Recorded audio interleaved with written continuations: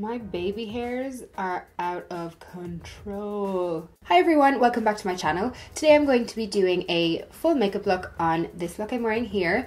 It is specifically tailored to girls who want plump and dewy, hydrated looking skin with lots of highlight. Again, anyone can wear this kind of look, but it is definitely a really helpful tutorial for dull, dry, dehydrated looking skin. I'm going to be telling you all of my favorite products to achieve this look, prep, face, all the things, lots of highlight. So if you want to know how I got this look, just keep watching. So the most important step in our makeup today is going to be making sure that the skin is prepped and hydrated for the rest of the makeup that goes on top. So my face is clean, I cleansed it in the shower, and I also used a light exfoliator. And then the most important step is going to be to actually moisturize the skin because your makeup is never going to look glowy and dewy and hydrated. Like your skin is never going to look that way if you haven't actually taken care of your skin underneath and hydrated your skin. The most important part of makeup is actually what you do before makeup. My skin is normal to dehydrated, so I tend to go for a really hydrating moisturizer all the time. And my go to one is the Clinique Moisture Surge 72 Hour Auto Replenishing Hydrator. I've been using this for about a month or six weeks and I'm nearly out. Like, can you see that? I've used so much. So this moisturizer is ideal for underneath makeup because it is super duper hydrating and lasts actually within the skin for 72 hours, even if you wash your face. So if I'm at the gym and I want to rinse my face or I've been sweating a lot and like blotting my face, I'm not losing all of that hydrating benefits of the moisturizer in my skin. It absorbs really, really quickly into the skin as you can see because it's that like gel texture. So this is perfect for underneath makeup because you'll notice with a lot of really hydrating moisturizers, when you put your foundation on over the top, it kind of slips around and moves over the top. Whereas this moisturizer is giving you ultimate hydration, but because of the gel formula, it's not giving you that super duper emollient kind of greasy base. We want to be hydrated, but we don't want to be greasy. Especially with hot weather like we have here in Australia, you do not want to have that really slippy kind of greasy skin, but you do want to look plump and dewy and hydrated. And this is what this moisturizer does. You've probably heard of hyaluronic acid lots of times when talking about an ingredient that hydrates the skin, and this moisturizer is full of it. So it really just infuses the skin with moisture and hydration and just seals it in for the day underneath your makeup so that your skin doesn't need to pull the hydration from your foundation, which is what will leave you looking dry and chunky and cakey. It's definitely my current go-to moisturizer for underneath makeup and for prepping the skin and it just keeps me hydrated all day through gym, work, everything. A lot of people get quite dry, like along here during the day and stuff, because I think it's one of our most exposed areas to the sun. If you really think about it, it makes sense. So you can actually pat in the moisturizer over your foundation, over your base during the day, and it just helps to rehydrate you throughout the day. You can also use this moisturizer as a mask. I used it yesterday, just apply a thick layer all over the face. I concentrate it under the eyes and on the cheeks heavily as well, because that's where I get a lot of my dehydration lines and flakiness and you just leave it on for about 5-10 minutes and then tissue off the excess. My skin can be so dehydrated that it actually doesn't leave any excess left over. So even though I put on heaps of the moisturizer, it all tends to absorb in. So I just pat it in and then I'll go to sleep. So as you can see, my skin is looking plumped up, dewy, hydrated, and ready for my makeup to go on top. I'm going to be here all day if I talk in depth about every single product. A lot of these products are my current favorites, so I might do a favorites video where I really get into what I like about each product and more so show you the application in this video. So next I'm going to use the Charlotte Tilbury Brightening Youth Glow Anti-Aging Color Correcting Glow Booster. Basically a glowing primer. It reminds me of MAC strobe lotion and that kind of stuff. It's just a really nice high shine primer. So I like to apply that on the perimeter of my face. I don't like to take it through the center because even though we want to look super hydrated, we don't want to look greasy in the T-zone. So just keeping most of the shine to the outside of the face. Now I'm going to use my favorite foundation at the moment. This is the NARS Radiant Longwear Foundation. I love this stuff. I haven't actually looked at any reviews of it on YouTube, but I can't imagine anyone not really liking it. It's my favorite foundation I've tried in ages. I think I put too much on the brush there. This is my IT Cosmetics double-ended brush. I love this foundation. It is like what would it's like souffle on the skin. It is so smoothing, so buttery, it's just gorgeous. And the coverage is amazing but it's really lightweight on the skin. I really really like it. It's my everyday foundation at the moment. This is the shade vienna. I'm a little bit fake tanned here so it just matches me but it's not the exact same as my natural skin. You can see this blends in so quickly. There's no working with it. Like you don't have to use lots of special tools and blending and all this kind of stuff to get this to work with your skin. It just goes on with any brush, any brush at all. It stays really radiant and flawless on the skin all day. So if you have dry skin, that's awesome. But it doesn't slip around too much and get really greasy because again, we want to be hydrated. We want to look glowing but we don't want our makeup just sliding off our face. I'm going to be sticking with a lot of cream formulas today because we want the skin to look really dewy and shiny and hydrated. When you use powders, it really takes away the shine and really sucks up all that moisture. We will powder certain areas, but we're sticking with creams mostly. So I'm using my favorite contour bronzing stick and this is the Clinique Chubby Stick in the shade Curvy Contour. You've seen me use this a bajillion times. I just love it. This is like my third or fourth one. I'm almost out of this though. Ooh. So I just take it where I would bronze, which is across the forehead, kind of just across the cheeks, not under. And then just a little bit under the chin, a little bit of sculpting. Then I'm taking my same brush again, and I'm just blending that in. This is a really blendable, creamy formula, but also paired with that foundation underneath. It's just like butter. There's no work involved here. You shouldn't have to build up guns to blend in your makeup. You can see that is just ever so slightly warming up my forehead. You can kind of, my lighting is a bit bright, excuse me. Let's take that down a notch. How about now? Oh, you can see a little bit better now. For contour, because I don't want to use a powder today, I'm going to use the Charlotte Tilbury Hollywood Contour Wand in the shade Fair Medium. And I'm just going to apply a little bit of this under the cheeks because it's a lot cooler than my um, Clinique stick. And into my temples just a tiny bit on the jaw. This will look more like a shadow than bronzing. And again, more creams to make sure we stay nice and natural and skin-like looking. This is another product that just blend, blends, blends in really, really easily. So we're not doing any crazy sculpting, just a little bit for concealer, I'm going to use the MAC Pro Conceal and Correct palette in the shade Light because I want to use this pink kind of peachy shade here to correct under my eyes. I don't always correct, but I just feel a little bit dark under there right now. So I'm going to just apply a little bit of this pinky, pinky peach shade to counteract that blue darkness underneath my eye. And again, this is another really creamy emollient formula so it won't cause any dryness to the skin. For concealer, I'm going to use the Makeup Forever Full Cover Concealer. It's a really good coverage concealer, but it's a very creamy formula. Again, this is the running theme. Really creamy hydrating formulas is key. So you don't need much of this. A little goes a long way, but it gives great coverage. So I'm just going to apply that with the other end of my IT Cosmetics brush, best brush in the world, and it's slightly lighter than my foundation just to brighten up under the eyes.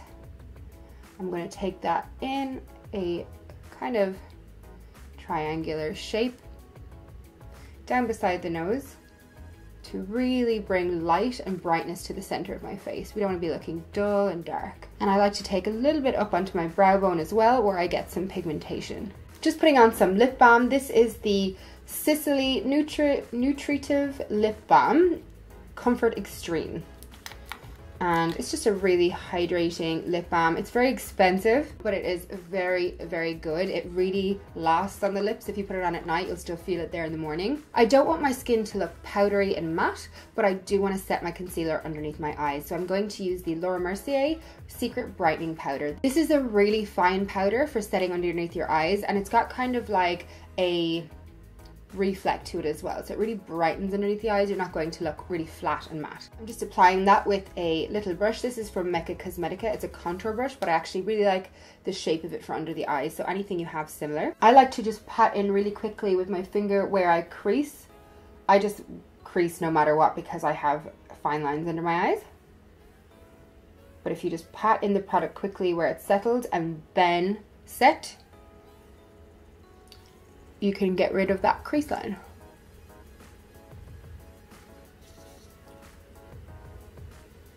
I'm literally on my very last bit of this powder. I need to get a new one. That just shows it's good, right? I'm just using whatever is left in the lid to pat down in the center of my face. This will just set those areas. Take away that ugly shine without actually making us look super duper matte. Oh, there we go. For blush, going with cream again, OBS, and this is the Fenty Match Stix in the shade Ridic. I love all of these like gangster names, even though I'm probably the least gangster person in the world, but we can dream. And I'm going to actually apply it to the back of my hand because the pigment can be quite intense. So to the back of my hand, and then using my foundation brush, just slightly pick up some of that product. And then I'm going to pat it in just here. And this will just bring a really nice, youthful kind of radiance to the face. I think blush can make you look so young. Just applying it kind of close into the nose, but not actually disrupting the concealer here. I love having this brush on hand because if I do take it up too high, the concealer is kind of left over on the end of my brush. So yeah, I like to take my blush all the way back and I think that looks very nice. What's your favorite Fenty product that you've tried? There are so many and everyone's raving about so many different products. What's your favorite? I'm going to use some cream highlight as well on the tops of the cheeks. This is my fave. I think I've shown it to you before. It's the Marc Jacobs Spotlight Glow Stick. It's just amazing and there's so much product in here you never go through it. I put it on like my shoulders, my legs, my collarbones, everywhere and it also works really nicely on the face obviously. I'm going to apply it with a beauty blender to make sure it's really nice and seamless and blended in on top of the cheeks. My beauty blender has gone just a little dry since I wet it so I'm just wetting it with Fix Plus. Then I'm going to pick the product up out of the bullet. Would you call this a bullet? It's very thick bullet. I don't know and I'm going to bounce that on the high points of my cheekbones and slightly up into the brow bone and eyebrow. And you can see starts to create a really nice natural looking shine. But in saying that, I'm going to put on some powder highlight over the top anyway because I love being over the top with my highlight. Try and stop me little bit on the nose, just whatever's on the Beauty Blender. Okay, I've just thrown on a brow because I don't want this to be too eye heavy or instructional focused. It really is about the glowy, hydrated skin. That's what we're focusing on today. But I'm going to throw on a really quick eye for you, which actually complements the look really well, but it's not too crazy. Using the Marc Jacobs Iconic palette in the shade Scandalust. These palettes are insane. I love them. I'm just taking the kind of neutral contour-y shade on a fluffy brush. This is a Zoeva Luxe Soft Crease. And I'm just dragging that through my crease really, really quickly just to create some definition. Nothing mage, nothing mage at all. These eyeshadows are amazing. They blend so nicely. I feel like a small child could make these eyeshadows look good, which is the sign of a great eyeshadow. If you gotta sit there all day blending and trying to make it work, it's not a good formula. If you can make it look good in two seconds, great formula. So that is just to create a little bit of contour on the eye. And then I'm taking this Stila, what's it called? Shimmer and Glow Liquid Eyeshadow, which is amazing. The shade is Jezebel. It's like a rose gold kind of kitten shade. Do you remember Stila Kitten? Still love that. And I'm just slopping that on the lid. One eye at a time, taking my Bobbi Brown touch-up brush. Just slapping that across the lid. They blend in gorgeously. There is not much work to this at all.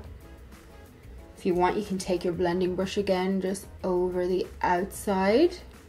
But that's really it. This eyeshadow will dry down as well, so you don't have to worry about it kind of sliding around all day. It will stick and set for the whole day. And this shimmery shade will just suit almost everyone and it really complements a highlighted skin look. So you can see I've barely put any work into that at all. Another sign of a great formula. Using this brown shade here in the Marc Jacobs palette and an angle brush, this is a MAC 266 brush, I'm just going to apply a little bit of that brown shadow across my lash line just to thicken up the lash line because otherwise it looks a bit sparse. And now I'm using the Paradise Extatic Lash Mascara by L'Oreal. I like this stuff. I actually prefer it to Benefit's new Bad Gal Lash. Controversial? You tell me what you think below. I'm sure you guys have seen mascara applied 7 billion times, so I'll save you the bore. Now I'm going to apply some powder highlight over my highlighted areas. It's going to stick down really nicely and just completely amp up the look and make the skin look amazing. Do I use Anastasia? Huda. Anastasia? Huda. Had to go get a new memory card. I'm going to use now the um, Anastasia Sugar Glow Kit and I'm going to use the shade Starburst, this pinky kind of one here and I'm going to apply that using a Zoeva Luxe Powder Fusion, Fusion brush to where we applied the cream highlight. And because that's kind of tacky, this is going to stick down really nicely and look extra shiny. Ooh, she's so pretty. Mm-hmm. Never, ever, ever, ever, ever going to get sick highlighting my face. I think if I was to ever make a product, highlight would have to be one of them, wouldn't it? Because I just, I'm a freak when it comes to highlight. Cupid's bow, ooh, mustache. and the other side. If you don't like this much highlight, please feel free to refrain from the powder step, but I just love it. Oh, oh, ooh, I forgot to highlight my inner corners Okay, this is not the right shaped brush, but it's the only clean small one I can find right now. I'm going to use that same shade, just for curiosity's sake, this is a Zoeva contour shader. I'm just going to apply that heavily to the inner corners. I just think this makes such a difference. You don't need to put on too much. I've definitely overdone it. But you can kind of blend it in with your finger. And lastly, we have lips. I'm going to use a few new products today. These are all by Nude by Nature, which is a cruelty-free kind of natural brand. And they are such good lip products. I have a lip pencil. This is the Defining Lip Pencil in the shade Soft Pink. I have a lip gloss, which is the No Glasses On Moisture Infusion Lip Gloss in the shade 7 Dusk Pink. And the lipstick in the shade Dusty Rose. It's just a moisture shine lipstick. So just going in with lip liner. I got my lips done recently and they're still kind of settling in. So if they look a bit bulbous, that's why. I'm not doing a really harsh structured outlined look, just soft. Then popping on the lipstick. This shade is like MAC Soar lip liner. So is the lip liner actually it just feels so comfortable on the lips and you can see the pigment is really nice. And then with the lip gloss, just a little bit through the center